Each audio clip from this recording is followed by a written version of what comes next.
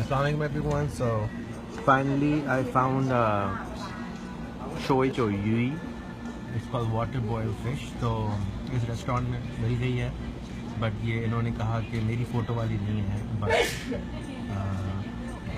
चंगदू style है Chongqing style नहीं है so this is how you